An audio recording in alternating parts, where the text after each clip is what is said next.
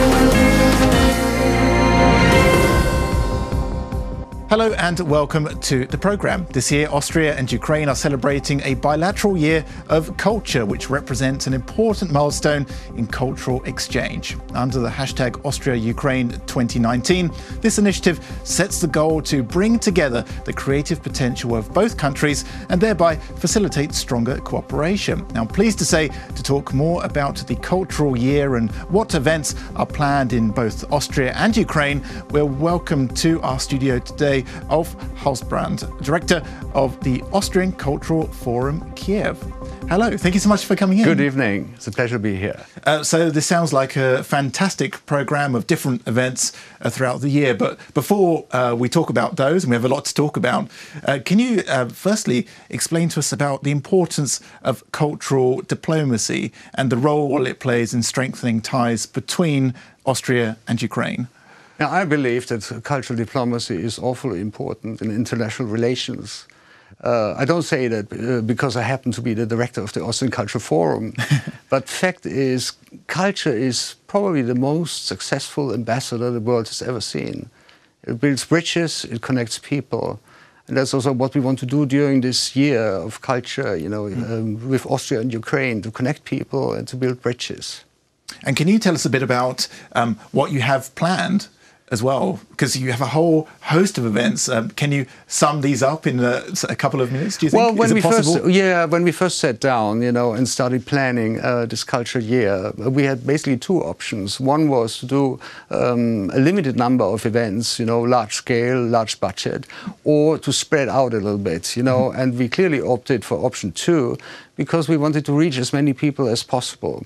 So in total, there will be at least 50 events and projects that we're doing all over Ukraine, from uh, Mariupol to uh, Kharkiv and from Lviv to Odessa. Yeah, I think this is great actually because it's not just centered in exactly. Kiev, but also um, I would imagine uh, you have Ukrainians who are going to go to Austria as well. So it's not all one way. Is, is absolutely, right? yeah. absolutely. I mean, uh, as as for Ukrainians in Austria, it, it, will be mostly the Ukrainian Institute which mm. organizes that, which is our partner in this. But uh, we also have an artist in residence program where we invite Ukrainian artists to Austria. And um, what sort of events do you have? So you have film screenings, um, different exhibitions. Can you tell us a bit you more about that? You, you, name it. We have actually everything. G give me a couple of ideas. What, what can I look forward to seeing in Kiev? Uh, for, for example, example, the film festival, the, the, annual Austrian Film Festival, well, will be at the book fair. Uh, um, of course, we'll um, be in Lviv at the Jazz Festival. We'll be in Mariupol at the Gogol Fest. We'll um, do a theater production with Koleso Theater, mm. uh, and so on and so forth. Um, and also, um, as well as all these different events that you have planned, you have recently um, published a new website. That's as well, uh, which we can show a bit of uh, now. So, can you tell us a bit more about the website, what people can find on there? Yes, it's AustriaUkraine2019.com, which we mm. launched last Friday.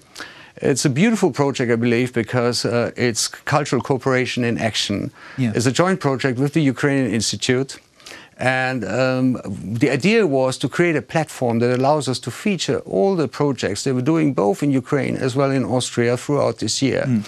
And it's a dynamic place, so to say, a, a dynamic uh, um, cultural calendar, you know, because we constantly update the website as new projects emerge. So people should keep an eye out then, a absolutely, very close eye out. Absolutely, yes, yes. And it must be quite daunting as well, uh, realizing all these uh, different uh, projects. How, how do you organize this? And perhaps uh, if people didn't know about this, how do they get involved themselves? Is it uh, still possible?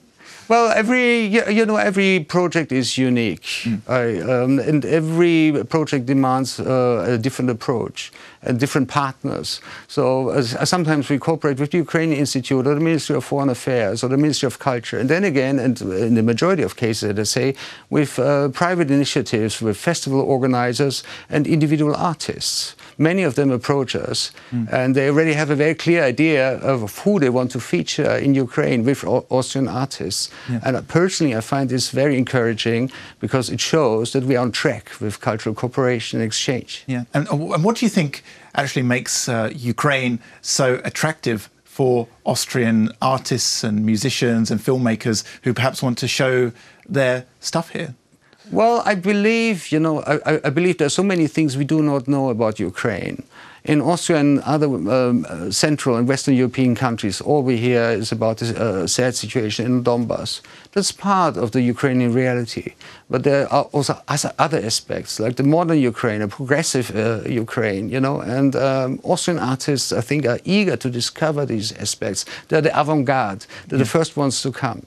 Yeah, and it's true because a lot of people might say or try to compare Ukraine, uh, Kiev as the new Berlin, but it's a bit cliche, and really Kiev is in a, a league of its own. Leave it with Kiev. Kiev is good enough. You know, Kiev is Kiev is unique, mm. and you know, I've been here only for a few weeks, but I can uh, tell you, it's it's so exciting. You know, it's so lively, it's so energetic, mm. especially in the field of arts. You know, like uh, there's so much going on.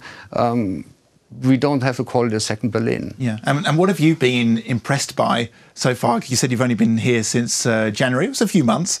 Um, have you seen any particular shows or been to any particular venues that really stood out for you? Um, honestly, I haven't had the time really to do that because exactly we've been very very busy organizing this uh, this year.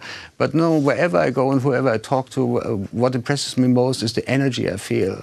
You know, and the, the determination, the determination, and I can't say whether it's because of the challenging times or in spite of it. The fact is, this energy is there, you know, and people will not allow anything to take their culture away. Yeah, and uh, I would imagine that history also plays a large part in it as well. Ukraine and Austria do have uh, historical connections well, there's well? one aspect, you know, of course, of uh, um, uh, cultural exchange, you mm. know, with the western parts of Ukraine, which uh, once uh, belonged to the Habsburg Empire. So we, we have um, a few historical topics that uh, we want to talk about, and that will also be one of the projects we'll organize a symposium. A joint Austrian-Ukrainian Commission of Historians, mm. and we'll set up an event. Yes. Well, that's that's very interesting, and um, it's it's not just uh, the historical aspect, but also aspects of uh, remembrance. Um, Absolutely. Um, so, um, what is the criteria for these different organizations or people who want to get involved? Uh, what are you looking for, perhaps? Well, generally speaking, I would like to say we, we have an open door policy. So anybody who has an interesting uh, project proposal is welcome to get in touch with us, you know, and then we always find time to sit down and talk about these ideas. It doesn't mean that in all cases we'll be able to support, mm. but um, we always are eager actually to hear what people have to say and the interest, uh, the interesting interesting ideas to bring to the table. Yeah, and I, I think it's um, really interesting, for, just from my point of view as well. Yeah. It's it's really good uh, if people are coming to Kiev or people who live in Kiev go to these different events because you learn so much. Absolutely. Even when I go to, uh, say, the, the British film festivals, I see films that perhaps I wouldn't even see in England. So you, um, it you is educational. Yeah. Culture is always educational, and what I sense here is uh, there is this uh, desire to learn. You know, people are curious.